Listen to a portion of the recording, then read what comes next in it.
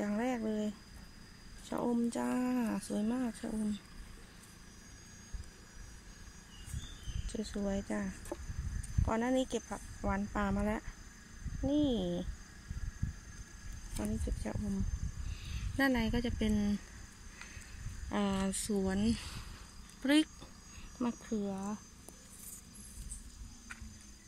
แล้วก็จะ ปลูกข้างๆนี่ตรงนี้จะเป็นสระแน่สระแน่มะม่วง อีกหนึ่งลูกน่าเอ็นดูน่าเอ็นดู นี่มะละกอกำลังขึ้นดอกจ้าเป็นลูกเล็กสวยงามพริกดกมาก ขออนุญาตมาดูนะคะ มาดูนะคะ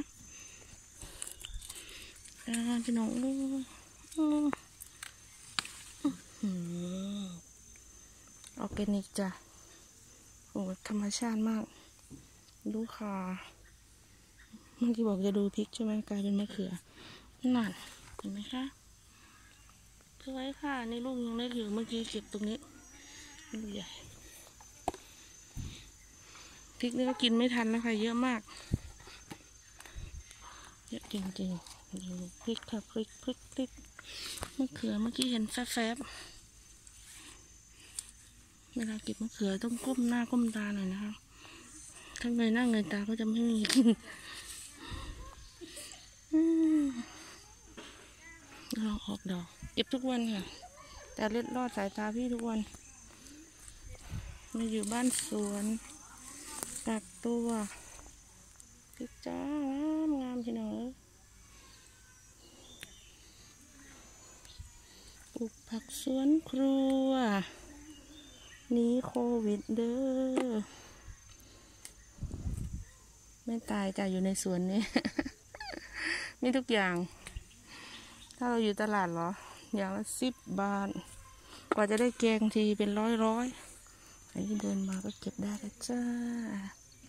พริกสดสดๆเยอะมากจ้า วันนี้เตรียมอุปกรณ์มาเยอะมากดูต้นนั้นค่ะท่านผู้ชม ผู้ชมดูต้นนี้ค่ะ โอ้ยแดงสวยมากมะละกอพันอะไรนี่พันอะไรอะ อันนี้มะละกอสายนะ ถ้าเป็นลูกนี่คือ เขาบอกว่าอร่อย คนแก่โบราณ เป็นลูกแท้คุณคะป้าพี่น้องอ่อนซ่อนพริกแดงทุกเม็ด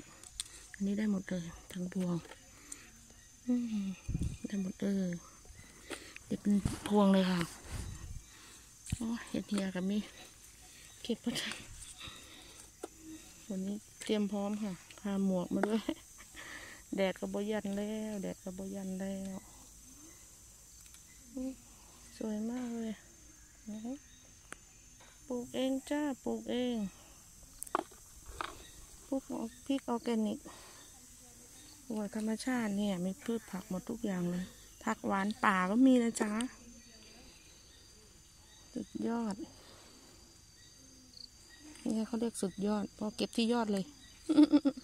สวยมาก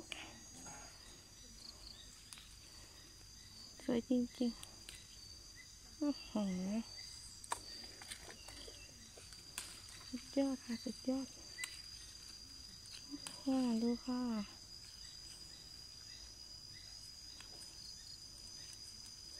เมนูตอนเย็นก็จะเป็นตำส้มตำอีกแล้วตำส้มตำสี่ห้าวันติดกันแล้ว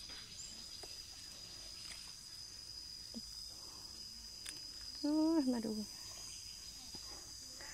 ถ้าเก็บเอาพริกอะกินบ่ทันพี่น้องเอ้ยเยอะมาก พริกเยอะมากดูซะก่อนค่ะ ดกด้วย เก็บได้ ก็เลือก แดงๆหน่อย อันนี้เป็นถั่วฝักยาวไม่ได้ทำค้างมันไม่รู้จะขึ้น ไม่รู้จะเก็บกันยังไง เดี๋ยวค่อยมาดูอีกทีนึง